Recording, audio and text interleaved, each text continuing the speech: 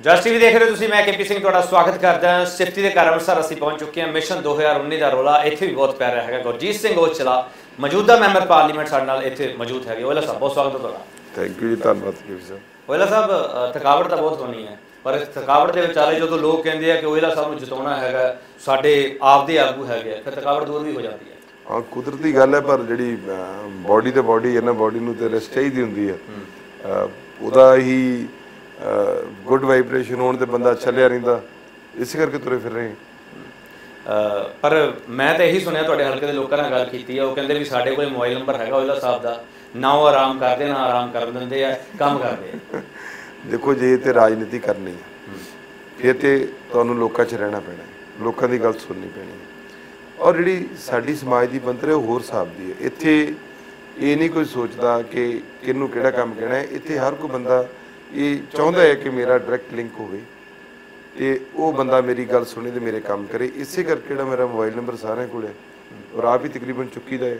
ਹੁਣ ਇਲੈਕਸ਼ਨ 'ਚ ਨਹੀਂ ਆਪ ਚੁੱਕ ਰਹੇ ਕਿਉਂਕਿ ਹੁਣ ਬਿਜ਼ੀ ਇੰਨੇ ਜ਼ਿਆਦੇ ਆ। ਤੁਹਾਡੇ ਵਿਰੋਧੀ ਤੁਹਾਡੇ ਵਿਰੋਧੀ ਇਹ ਗੱਲ ਕਹਿ ਰਹੇ ਵੀ ਪ੍ਰਧਾਨ ਮੰਤਰੀ ਸਾਹਿਬ ਦਾ ਕਰੀਬੀ ਸਾਥੀ ਇੱਥੇ ਖੜਾ ਹੈਗਾ। ਮੰਤਰੀ ਉਹਨਾਂ ਨੇ ਦੁਬਾਰਾ ਬਣਨਾ ਹੈਗਾ। ਇੱਕ ਕਾਉਂਸਲਰ ਥੋੜੀ ਤੁਹਾਡੇ ਕੰਮ ਕਰਾਊਗਾ। ਉਹ ਇਹ ਗੱਲ ਕਾਉਂਸਲਰ ਹੀ ਕਹਿੰਦੇ ਪਤਾ ਨਹੀਂ। ਗੱਲ ਗੱਲ ਇਹ ਆ ਮੈਂ ਤੇ ਖੁਸ਼ ਹਾਂ ਕਿ ਮੇਰੇ ਲੋਕ ਇੱਕ ਐਮਪੀ ਚ ਕੌਂਸਲਰ ਨੂੰ ਵੀ ਲੱਭ ਲੈਂਦੇ ਆ ਇੱਕ ਐਮਪੀ ਚ ਐਮਐਲਏ ਨੂੰ ਵੀ ਲੱਭ ਲੈਂਦੇ ਆ। ਮੇਰੇ ਤੋਂ ਹੋਰ ਵੱਡੀ ਖੁਸ਼ੀ ਇਹਦੇ ਲਈ ਕੀ ਹੋ ਸਕਦੀ ਕਿ ਮੈਂ ਕਿਸੇ ਦਾ ਕੌਂਸਲਰ ਵਾਲਾ ਕੰਮ ਵੀ ਕਰ ਸਕਦਾ ਹਾਂ ਐਮਪੀ ਵਾਲਾ ਵੀ ਕਰ ਸਕਦਾ ਹਾਂ ਤੇ ਐਮਐਲਏ ਵਾਲਾ ਵੀ ਕਰ ਸਕਦਾ ਹਾਂ ਤੁਸੀਂ ਹਰਦੀਪ ਸਿੰਘ ਪੁਰੀ ਮੈਂ ਤੇ ਮੈਂ ਤੇ ਬਹੁਤ ਖੁਸ਼ ਹਾਂ। ਉਹ ਕਰਦੇ ਆ ਕਿਉਂਕਿ ਦੇਖੋ ਉਹ ਬੰਦੇ ਸਾਰੇ ਬੜੇ ਬੜੇ ਅਫਸਰ ਨੇ। ਉਹਨਾਂ ਸਾਰੀ ਉਮਰ ਕਿਸੇ ਨੂੰ ਦਰਵਾਜ਼ਾ ਦੇ ਅੰਦਰ ਆਉਣ ਨਹੀਂ ਦਿੱਤਾ। 8-8 10-10 ਘੰਟੇ ਉਹ ਇਕੱਲੇ ਬਹਿ ਕੇ ਕੋਈ ਬੰਦਾ ਨੂੰ ਡਿਸਟਰਬ ਨਹੀਂ ਕਰ ਸਕਦਾ। ਤੇ ਉਹ ਜੇ ਕੋਈ ਉਹਨਾਂ ਨੂੰ ਬਹੁਤੇ ਜ਼ਿਆਦਾ ਬੰਦੇ ਮਿਲ ਲੈਣ ਤਾਂ ਬਿਮਾਰ ਹੋ ਜਾਂਦੇ ਆ। ਅਸੀਂ ਜੇ ਕੋਈ ਸਾਨੂੰ ਨਾ ਮਿਲੇ ਅਸੀਂ ਤਾਂ ਬਿਮਾਰ ਹੋ ਜਾਂਦੇ ਆ। ਫ਼ਰਕ ਹੈ ਸਾਡਾ ਉਹਨਾਂ ਦਾ। ਹਰਦੀਪ ਸਿੰਘ ਪੁਰੀ ਹਰੀ ਜਦੋਂ ਪ੍ਰਚਾਰ ਵਿੱਚ ਜਾਂਦੇ ਹੈਗੇ ਆ ਤੇ ਤੁਸੀਂ ਇੱਕ ਟਿੱਪਣੀ ਕੀਤੀ ਸੀਗੀ ਕਿ ਉਹਨਾਂ ਨੂੰ ਕਿਸੇ ਪਿੰਡ ਛੱਡਿਆ ਉਹ ਘਰੇ ਨਹੀਂ ਪਹੁੰਚ ਸਕਦੇ। ਨਹੀਂ ਮੈਂ ਟਿੱਪਣੀ ਤੇ ਕੀ ਕਰਨੀ ਸੀ ਉਹ ਨਿੱਜੀ ਵਿਅਕਤੀਗਤ ਗੱਲਾਂ ਕਰਦੇ ਆ। ਤੇ ਮੈਂ ਫਿਰ ਉਹਨਾਂ ਨੂੰ ਇੱਕ ਹੀ ਗੱਲ ਕਹੀ ਸੀ, ਮੈਂ ਕਿਹਾ ਪੁਲਿਸ ਸਾਹਿਬ, ਪਹਿਲਾਂ ਰਾਹ ਰੂਹ ਤੇ ਦੇਖ ਲਓ ਪਹਿਲਾਂ, ਜਿੱਥੇ ਇਲੈਕਸ਼ਨ ਲੜਨਾ ਹੈ ਮੀਆਂ 20 ਦਿਨਾਂ ਤੇ ਕੁਝ ਵੀ ਪਤਾ ਨਹੀਂ ਲੱਗਦਾ। ਕਿਸੇ ਦੇ ਘਰ ਦਾ ਤੁਸੀਂ ਕਹੋ ਕਿ ਮੈਨੂੰ ਮੋਢੀ ਬਣਾ ਦਿਓ ਤੇ ਘਰ ਦੀ ਹਾਲਤ ਕੀ, ਪਹਿਲਾਂ ਉਹ ਤੇ ਪਤਾ ਕਰ ਲਓ। ਤੇ ਬਾਹਰ ਖੜੇ ਘਰ ਨੂੰ ਵੇਖ ਕੇ ਦੱਸੀ ਜਾਓ ਕਿ ਮੈਂ ਘਰ ਨੂੰ ਜਿਹੜਾ ਆ, ਇਹ ਬੜਾ ਉੱਚਾ ਸੁੱਚਾ ਬਣਾ ਦੂੰਗਾ। ਉਹਦੀ ਤੁਹਾਨੂੰ ਇਹ ਨਹੀਂ ਪਤਾ ਘਰ ਦੀ ਕਿਹੜੀ ਕੁੰਡੀ ਖਰਾਬ ਆ, ਕਿਹੜਾ ਲੋਕ ਖਰਾਬ ਆ, ਕਿਹੜਾ ਕਮਰਾ ਕਿੱਧਰ ਨੂੰ ਜਾ ਕਿੱਧਰ ਚੜ ਕੇ ਪੌੜੀ ਛੱਤ ਤੇ ਚੜਨਾ ਆ। ਤੇ ਬਾਹਰ ਖਲੋ ਕੇ ਤੁਸੀਂ ਇਹ ਫੈਸਲੇ ਕਰੋਗੇ ਕਿ ਮੈਂ ਬਾਹਰੋਂ ਹੀ ਅੰਦਾਜ਼ਾ ਲਾ ਕੇ ਸਾਰਾ ਕੁਝ ਕਰ ਦੂੰਗਾ। ਇਹ ਤੇ ਕਿਰਾਏਦਾਰ ਜਿਹਾ ਵਾਲਾ ਸਿਸਟਮ ਆ। ਉਹ ਆਏ ਵੀ ਕੋਠੀ ਕਿਰਾਏ ਤੇ ਲੈ ਕੇ ਰਹਿ ਰਹੇ ਨੇ ਤੇ ਉਹਨਾਂ ਲਈ ਵੀ 19 ਤਰੀਕ ਤੱਕ ਲਈ। ਪਤਾ ਉਹਨਾਂ ਨੂੰ ਹੈਗਾ ਸਾਰੀ ਗੱਲ ਦਾ। ਪਰ ਉਹ ਹੁਣ ਇੱਕ ਫੇਸ ਸੇਵਿੰਗ ਹੁੰਦੀ ਹੈ, ਉਹ ਕਰਦੇ ਨੇ ਵਿਚਾਰੇ। ਤੁਸੀਂ ਕੁੰਡੀਆਂ ਅੰਮ੍ਰਿਤਸਰ ਦੱਖਣੀ ਹਲਕੇ ਦੀਆਂ ਚੈੱਕ ਕਰਦੇ ਰਹੇ? ਮੈਂ ਹਰ ਹਲਕੇ ਅਕਾਲੀ ਚਲੇ ਗਏ ਫਿਰ ਤੁਸੀਂ। ਮੈਂ ਸਾਰੇ ਹਲਕੇ ਦੇ ਕੁੰਡੀਆਂ check ਐਮਪੀ ਤੁਹਾਨੂੰ ਬਣਾਤਾ। ਦੱਖਣੀ ਅਟਾਰੀ ਅਜਨਾਲਾ ਰਾਜਸਾਸੀ ਮਜੀਠਾ। ਹਰ ਹਲਕੇ 'ਚ ਕੰਮ ਕੀਤਾ ਵੈਸਟ ਨਾਰਥ। ਕੁਦਰਤ ਨੇ ਕੋਈ ਇਹੋ ਕਾਇਨਾਤ ਕੀਤੀ ਵੀ ਹਰ ਜਗ੍ਹਾ ਤੇ ਜਾਣਾ ਪਿਆ। ਮਿਹਨਤ ਤੁਸੀਂ ਜ਼ਿਆਦਾ ਅੰਮ੍ਰਿਤਸਰ ਦੱਖਣੀ ਹਲਕੇ ਲਈ ਕਰਦੇ ਪਏ ਸੀ ਕਿ ਮੈਂ ਉੱਥੋਂ ਲੜਨਾ ਹੈਗਾ। ਫਿਰ ਤੁਸੀਂ ਇੱਕ ਨਾਮ ਪ੍ਰਪੋਜ਼ ਵੀ ਕੀਤਾ ਕਿ ਅਜਨਾਲਾ ਸਾਹਿਬ ਨੂੰ ਲੜਾ ਦਿਓ ਤੁਸੀਂ ਐਮਪੀ ਇਲੈਕਸ਼ਨ ਫਿਰ ਤੁਹਾਨੂੰ ਤੁਹਾਨੂੰ ਕੈਪਟਨ ਅਮਰਿੰਦਰ ਸਿੰਘ ਨੇ ਚੁਣਿਆ ਵਜ੍ਹਾ ਕੀ ਸੀ? ਇਹ ਨਹੀਂ ਉਹ ਤੇ ਮੈਂ ਇਹਨਾਂ ਨੂੰ ਮੈਨੂੰ ਜਦੋਂ ਉਹਨਾਂ ਨੇ ਕਿਹਾ ਕਿ ਤੁਸੀਂ ਐਮਪੀ ਲੜੋਗੇ ਜਦੋਂ ਲਾਸਟ 2017 ਚ। ਲੜ ਲੋਗੇ ਮੈਂ ਕਿਹਾ ਜੀ ਤੁਸੀਂ ਅਜਨਾਲਾ ਸਾਹਿਬ ਨੂੰ ਲੜਾ ਦਿਓ, ਮੈਂ ਐਮਐਲਏ ਲੜ ਲੈਣਾ ਜੀ। ਕਿਉਂਕਿ ਮੈਂ ਇੱਕ ਜ਼ਿਲ੍ਹਾ ਪ੍ਰਧਾਨ ਤੇ ਹੀ ਸੋਚ ਸਕਦਾ ਨਾ। ਐਮਪੀ ਤਾਂ ਬਹੁਤ ਵੱਡੀ ਗੱਲ ਹੈ। ਤੇ ਮੈਂ ਇਹ ਸੋਚਿਆ ਨਹੀਂ ਸੀ। ਔਰ ਪਾਰਟੀ ਨੇ ਕਿਹਾ ਨਹੀਂ, ਤੁਸੀਂ ਐਮਪੀ ਤੂੰ ਹੀ ਐਮਪੀ ਲੜੇਗਾ, ਕਿਉਂਕਿ ਤੂੰ ਸਾਰੇ ਹਲਕਿਆਂ ਚ ਗਿਆ ਆ। ਇਹਦਾ ਸਾਨੂੰ ਪਤਾ ਹੈ। ਤੇ ਇਹਦੇ ਨਾਲ ਸਾਨੂੰ ਲੱਗਦਾ ਹੈ ਕਿ ਤੂੰ ਕਾਮਯਾਬ ਹੋਏਗਾ। ਮੈਂ ਕਿਹਾ ਜੇ ਪਾਰਟੀ ਚਾਹੁੰਦੀ ਹੈ, ਤੇ ਫਿਰ ਮੈਂ ਲੜੂੰਗਾ। ਤੁਹਾਡਾ ਸਫ਼ਰ ਕਿਵੇਂ ਸ਼ੁਰੂ ਹੁੰਦਾ? ਹੈ? ਹੁਣ ਦਾ ਕਿ ਪੁਰਾਣਾ? ਪ- ਪੁਰਾਣਾ ਸਫ਼ਰ ਪੁਰਾਣਾ। ਤੇ ਮੈਂ ਦੇਖੋ ਇੱਕ ਸਾਡਾ ਜਿਹੜਾ ਜਿੱਥੇ ਅਸੀਂ ਰਹਿ ਰਹੇ ਆ ਇਹ ਆਤੰਕਵਾਦ ਤੋਂ ਬਾਅਦ ਜਿਹੜੇ ਸ਼ਹਿਰ ਡਿਵੈਲਪ ਹੋਏ ਆ ਉਹਦਾ ਦਾ ਏਰੀਆ ਹੈ ਕਿ ਜਦੋਂ ਜਦੋਂ ਮਾੜਾ ਦੌਰ ਸੀ ਪੰਜਾਬ ਦਾ। ਉਹ ਫਿਰ ਲੋਕੀ ਜਿੱਥੇ ਮਰਜ਼ੀ ਕਿਸੇ ਨੇ ਪਲਾਟ ਕੱਟ ਲਏ ਜਿੱਥੇ ਮਰਜ਼ੀ ਜਿੰਨੀ ਜਿੰਨੀ ਲੋੜ ਸੀ ਜਗ੍ਹਾ ਬਣਾਉਂਦੇ ਗਏ ਉਹ ਸਾਰੀ ਡਿਵੈਲਪਮੈਂਟ ਜਿਹੜੀ ਸਾਡੇ ਏਰੀਆ ਦੀ ਹੈ 에어ਪੋਰਟ ਰੋਡ ਦੀ ਉਹ ਤਕਰੀਬਨ ਮੇਰੇ ਹੱਥਾਂ 'ਚ ਹੋਈ ਹੈ ਅਸੀਂ ਸੁਸਾਇਟੀਆਂ ਬਣਾਈਆਂ ਜਾਂਦੇ ਰਹੇ ਸ਼ਹਿਰ ਨਾਲ ਜ਼ਮੀਨ ਲੱਗੀ ਆਪਣਾ ਵਪਾਰ ਜ਼ਮੀਨਾਂ ਦਾ ਹੋ ਗਿਆ। ਰਾਜਨੀਤੀ ਮਤਲਬ ਸੋਚ ਨਹੀਂ ਸੀ ਹੈਗੀ ਕਿ ਕੁਝ ਬਣਨਾ ਹੈ। ਭੱਜ ਰਾਜਨੀਤੀ ਰਾਜਨੀਤੀ ਦਾ ਸੁਪਨਾ ਨਹੀਂ ਸੀਗਾ। ਭੱਜਦੇ ਸਾਂ ਵੀ ਨਹੀਂ ਯਾਰ ਆਪਾਂ ਨਹੀਂ ਇਸ ਕੰਮ 'ਚ ਪੈਣਾ। ਪਰ ਕੁਦਰਤ ਨੇ ਕੁਝ ਇਹੋ ਜਿਹਾ ਕੀਤਾ ਵੀ ਕੌਂਸਲਰ ਦੀ ਟਿਕਟ ਦੇ ਦਿੱਤੀ ਮਿਲੀ ਵੀ ਉਦੋਂ। ਜਦੋਂ ਕਾਲੀ ਦਲ ਕਵੇ ਕਿ ਮੈਂ ਕਿਸੇ ਨੂੰ ਬੰਨ ਨਹੀਂ ਦੇਣਾ ਉਹ ਤੁਹਾਨੂੰ ਪਤਾ ਕਿ ਗੁੰਡਾਗਰਦੀ ਦੇ ਬੜੇ ਮਾਰ ਨੇ। ਉਹ ਧੱਕੇ ਨਾ ਕਹਿਣ ਵੀ ਅਸੀਂ ਰੋਣਾ ਹੈ। ਪਰ ਪਬਲਿਕ ਨੇ ਸਾਥ ਦਿੱਤਾ ਸੀ ਜਿੱਤ ਗਏ ਉਹ ਜਿੱਤੇ ਇਹ ਜੇ ਸੀਐਮ ਸਾਹਿਬ ਨਾਲ ਪਿਆਰ ਕਿਉਂਕਿ ਉਹ ਕੱਲੀ ਇੱਕ ਵਾਰਡ ਸੀ ਜਿੱਥੇ ਸੀਐਮ ਸਾਹਿਬ ਸਪੈਸ਼ਲ ਆਏ। ਉਹਨਾਂ ਦੇ ਵੀ ਦਿਮਾਗ 'ਚ ਆ ਗਿਆ ਕਿ ਬੰਦਾ ਠੀਕ ਹੈ। ਫਿਰ ਲੋਕਾਂ ਦੇ ਕੰਮ ਕੀਤੇ। ਫਿਰ ਐਮਐਲਏ ਦੀ ਤਿਆਰੀ ਦੱਖਣੀ ਤੋਂ ਕਰਨ ਲੱਗੇ। ਫਿਰ ਦੱਖਣੀ ਤੋਂ ਜਦੋਂ ਤਿਆਰੀ ਕਰਦੇ ਟਿਕਟ ਨਹੀਂ ਮਿਲੀ। ਔਰ ਯਕੀਨ ਜਾਣਿਓ ਪੂਰਾ ਇਮਾਨਦਾਰੀ ਨਾਲ ਕੰਮ ਕੀਤਾ ਪਾਰਟੀ ਵਾਸਤੇ।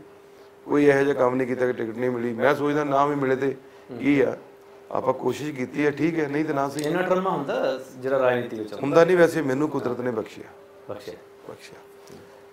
ਨਹੀਂ ਮਿਲੀ ਸਰਕਾਰ ਨਹੀਂ ਬਣੀ ਪ੍ਰਧਾਨ ਬਣਾਤਾ ਕੰਮ ਕੀਤਾ ਲੋਕ ਮੁੱਦੇ ਚੱਕੇ। ਔਰ ਲੋਕ ਮੁੱਦੇ ਕਰਦੇ ਚਾਰੇ ਹਲਕੇ ਕੱਢੇ ਦਿਹਾਤ ਦੇ। ਅਟਾਰੀ ਤਾਂ ਮੈਂ 2009 ਚ ਵੀ ਕੱਢਿਆ ਸੀ ਜਦੋਂ ਮੈਂ ਇਹ 2000 ਐਮਐਲਏ ਦੀ ਐਮਪੀ ਦੀ ਇਲੈਕਸ਼ਨ ਸੀ 2009 ਚ ਸਰਕਾਰ ਜਦੋਂ ਬਣੀ। ਸੋਨੀ ਸਾਹਿਬ ਲੜੇ ਸੀ। ਉਦੋਂ ਉੱਥੇ ਐਮਐਲਏ ਨਹੀਂ ਸੀ ਹੈਗਾ ਨਵਾਂ ਹਲਕਾ ਬਣਿਆ ਸੀ। ਐਸਸੀ ਹਲਕਾ ਸੀ। ਡੀਲਿਮਿਟੇਸ਼ਨ ਤੋਂ ਬਾਅਦ। ਡੀਲਿਮਿਟੇਸ਼ਨ ਤੋਂ ਬਾਅਦ। ਤੇ ਮੈਂ ਕੌਂਸਲਰ ਦੀ ਸੱਤ ਚ ਇਲੈਕਸ਼ਨ ਹੋਈ ਤੇ ਰਣੀਕੇ ਹੋਣਾ ਮੇਰਾ ਤੇ ਬਹੁਤ ਦ- ਧੱਕਾ ਕੀਤਾ ਸੀ।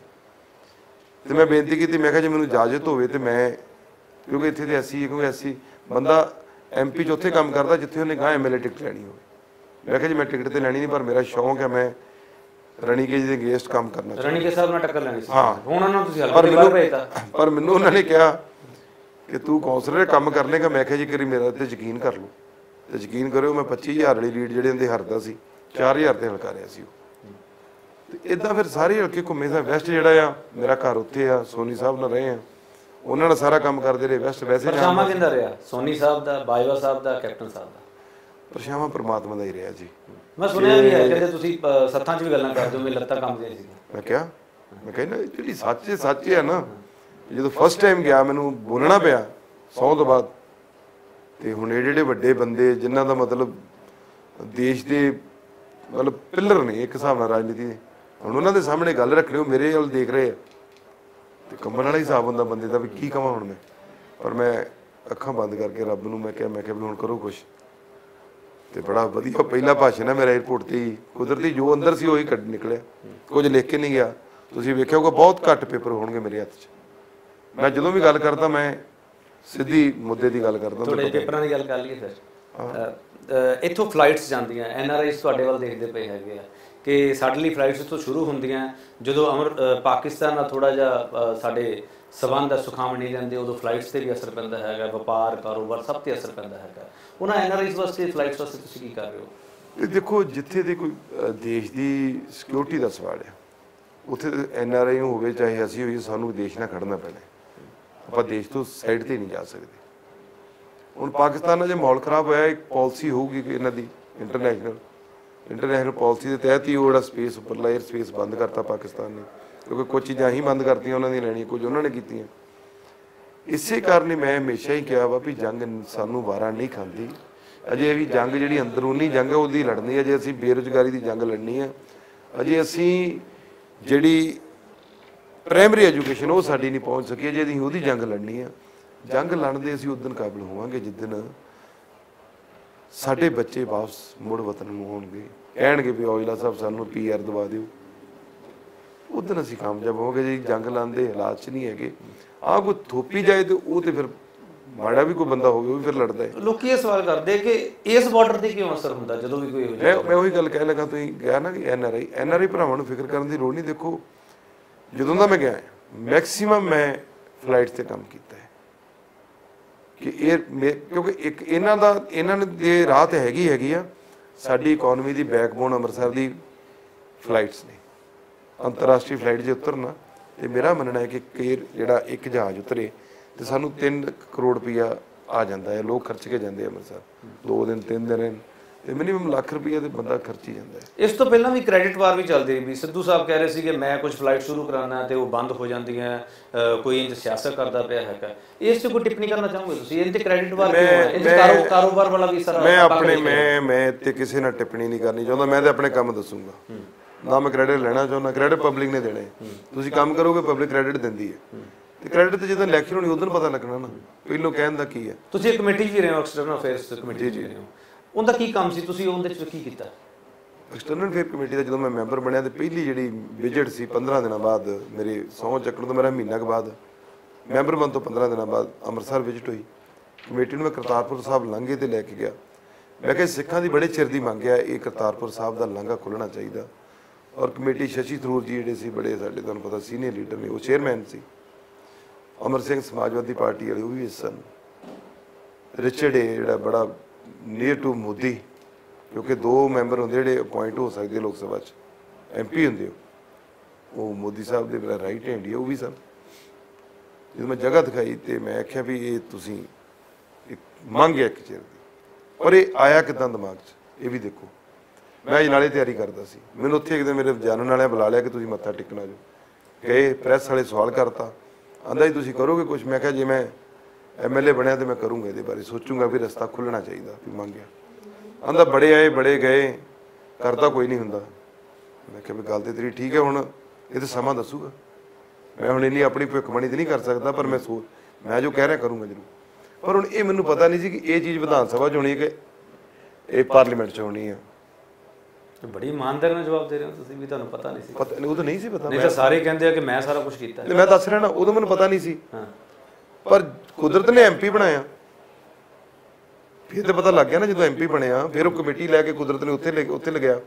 ਉਹ ਤਾਂ ਹੀ ਦਿਮਾਗ 'ਚ ਆਇਆ ਨਾ ਉਦੋਂ ਮੈਂ ਉਹਨੂੰ ਕਹਿ ਚੁੱਕਾ ਉਦੋਂ ਮੈਂ ਅਜੇ ਜ਼ਿਲ੍ਹਾ ਪ੍ਰਧਾਨ ਸੀ ਮੈਂ ਐਮਐਲਏ ਦੀ ਤਿਆਰੀ ਕਰ ਰਿਹਾ ਸੀ। ਯਤਨ ਕਿੰਦੇ ਸਫਰ ਰਹੇ ਆ? ਤੁਹਾਡੇ ਸਿੱਧੂ ਸਾਹਿਬ ਦੇ ਜਾਂ ਪਾਕਿਸਤਾਨ ਦੇ ਯਤਨ ਸਫਰ ਰਹੇ ਨਹੀਂ ਸਾਰਿਆਂ ਦੇ ਰਹੇ ਆ। ਜਿਹੜੇ ਅਰਦਾਸਾਂ ਕਰਦੇ ਉਹਨਾਂ ਦੇ ਵੀ ਰਹੇ ਆ।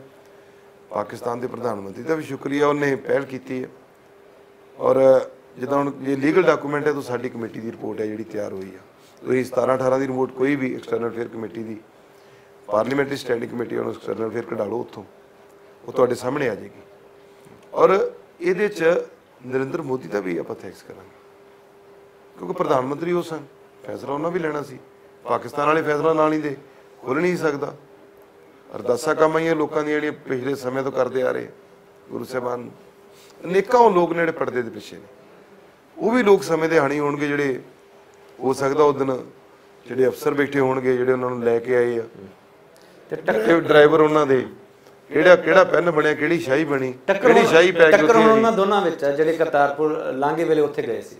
ਓਇਲਾ ਸਾਹਿਬ ਵੀ ਜਾ ਕੇ ਆਏ ਆ, ਹਰਦੀਪੁਰੀ ਸਾਹਿਬ ਵੀ ਜਾ ਜਾਣ ਨੂੰ ਤੇ ਦੇਖੋ ਬਾਹਰੋਂ ਵੀ ਸੰਗਤ ਉੱਥੇ ਆਈ ਸੀ। ਮੇਰੇ ਤੋਂ ਇਲਾਵਾ ਕਈ ਸੰਗਤ ਗਈ ਸੀ। ਹੁਣ ਕ੍ਰੈਡਿਟ ਉਹ ਵੀ ਲੈ ਰਹੇ ਆ ਤੇ ਹਰਦੀਪ ਕ੍ਰੈਡਿਟ ਕ੍ਰੈਡਿਟ ਵੇਖੋ ਉੱਥੇ ਹੁਣ ਫਿਰ ਇਸ ਹਿਸਾਬ ਨਾਲ ਤੇ ਕ੍ਰੈਡਿਟ ਉਹਨਾਂ ਦਾ ਵੀ ਜਿਹੜੇ ਉਸ ਸਮੇਂ ਹਾਜ਼ਰ ਸੀ ਕਰਤਾਰਪੁਰ ਸਾਹਿਬ ਲੰਘੇ ਦੇ। ਪਰ ਮਸਲਾ ਇਹ ਹੈ ਕਿ ਮੈਂ 17 ਦੀ ਗੱਲ ਕਰ ਰਿਹਾ ਕਮੇਟੀ ਮੈਂ ਉਦੋਂ ਲੈ ਕੇ ਗਿਆ। ਇਹ 18 ਮਾਰਚ ਤੋਂ ਪਹਿਲਾਂ ਰਿਪੋਰਟ ਸਬਮਿਟ ਕਰਨੀ ਹੁੰਦੀ ਹੈ। ਉਹ ਰਿਪੋਰਟ ਸਬਮਿਟ ਹੋਈ ਪਾਰਲੀਮੈਂਟ 'ਚ। ਲਾਂਘਾ ਖੁੱਲ ਰਿਹਾ ਤੁਹਾਡਾ ਆ ਕੇ ਗੱਲ ਚੱਲੀ ਹੈ ਅਕਤੂਬਰ ਦੇ ਕਰੀਬ ਜਦੋਂ ਸਰਕਾਰ ਬਣੀ ਉਹਨਾਂ ਦੀ। ਹੁਣ ਦੇਖੋ, ਅਸੀਂ ਤੇ ਸਾਲ, ਡੇਢ ਸਾਲ ਪਹਿਲਾਂ ਕੋਸ਼ਿਸ਼ ਕੀਤੀ ਹੈ। ਤੇ ਪੁਰੀ ਸਾਹਿਬ ਨੂੰ ਤੇ ਭੇਜਿਆ ਗਿਆ ਇੱਕ ਐਜ਼ ਅ ਕੰਟਰੀ ਉਹਨਾਂ ਨੂੰ ਜਾਣਾ ਪੈਣਾ ਸੀ, ਇੱਕ ਮਿਨਿਸਟਰ ਜਾਣਾ ਪੈਣਾ ਸੀ। ਤੇ ਉਹਨੂੰ ਤੇ ਉਹਨਾਂ ਡਿਊਟੀ ਲਾਈ ਕਿ ਤੁਸੀਂ ਜਾਓ। ਚਲੋ, ਮੈਂ ਇਹਨੂੰ ਵੀ ਉਹਨਾਂ ਨੂੰ ਕੁਝ ਨਹੀਂ ਕਹਿੰਦਾ। ਗਏ ਨੇ, ਵਧੀਆ ਗੱਲ ਹੈ ਉਹ ਵੀ ਜੇ ਸਮਝਦੇ ਕਿ ਉਹਨਾਂ ਦਾ ਹਿੱਸਾ ਹੈ, ਮੈਂ ਵੀ ਮੰਨੂਗਾ ਕਿ ਉਹਨਾਂ ਦਾ ਵੀ ਹਿੱਸਾ ਹੈ। ਚੇਂਜ ਹੋ ਰਿਹਾ। ਜਿੱਤਾਂਗੇ ਵੀ ਤੇ ਯੂਪੀ ਵੀ ਆਏਗੀ। ਇਸੇ ਚੈਨਲ ਤੇ ਆਪਾਂ 23 ਨੂੰ ਗੱਲ ਕਰਾਂਗੇ।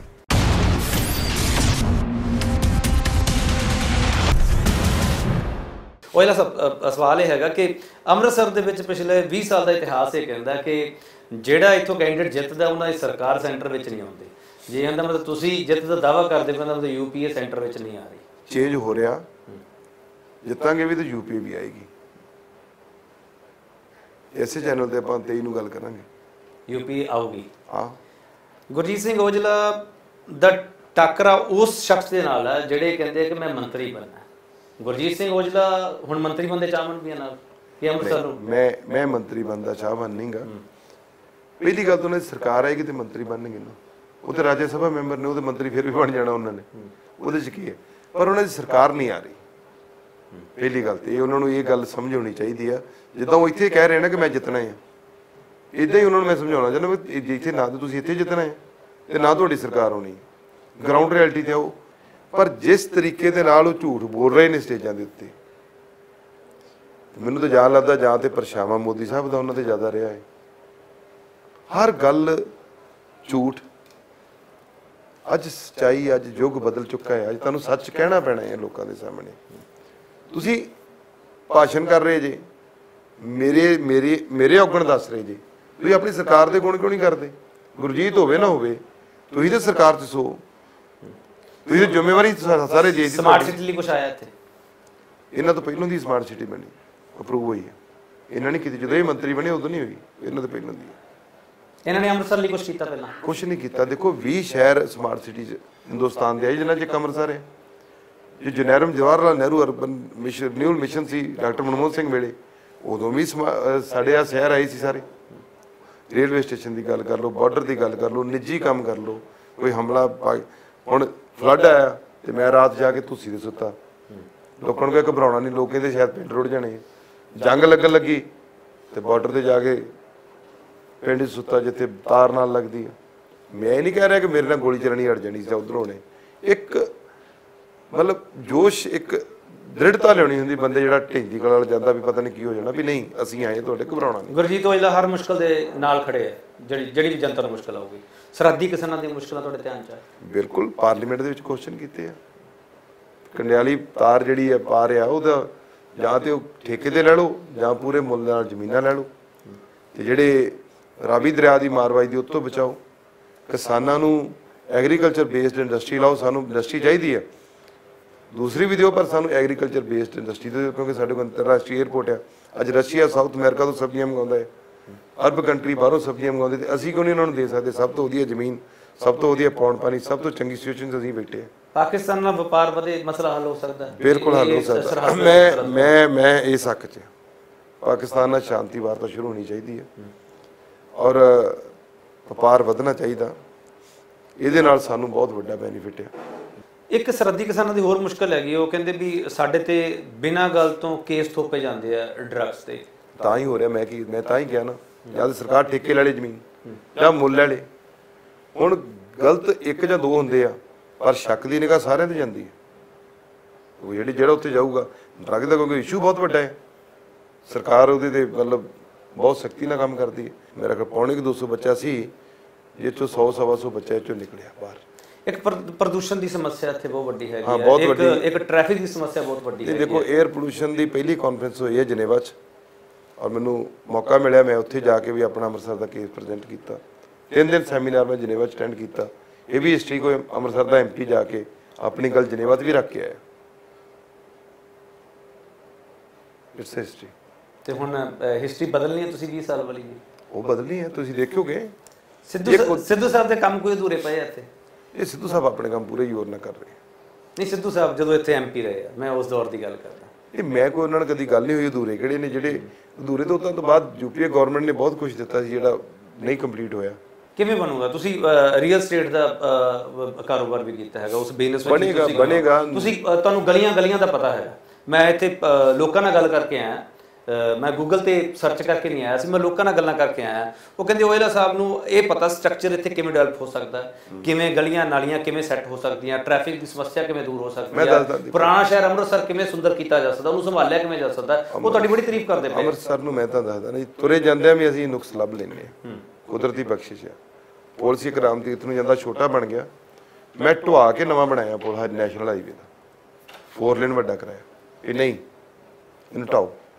ਅਸੀਂ ਕਿਵੇਂ ਲੰਘਣਾ ਇਹਦੇ ਥੱਲੇ ਦੀ ਹੁਣ 골ਡਨ ਗੇਟ ਦੇ ਲਾਗੇ ਪੁਲ ਬਣਿਆ ਗਲਤ ਬਣਿਆ ਉਹਦੀ ਇਨਕੁਆਰੀ ਲਾਈ ਹੈ। ਕੱਲ ਲੰਘ ਰਿਹਾ ਸੜਕ ਬਿਲਕੁਲ ਲਾਗੇ ਦੀ ਬਣਾ ਦੇ ਲੱਗੇ।